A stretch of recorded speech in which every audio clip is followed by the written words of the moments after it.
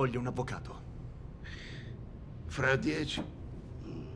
No, nove ore e mezzo. Non resterà niente di Pilz. Io voglio un avvocato.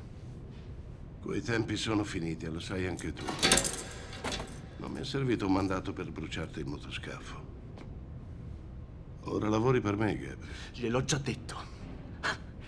Non sono una sua spia. Non farò proprio un cazzo per lei. Non ti sto chiedendo di fare qualcosa per me, nemmeno di fare qualcosa per la tua comunità. Anche se parecchie persone moriranno. Come tuo padre, tu sei più un tipo da famiglia.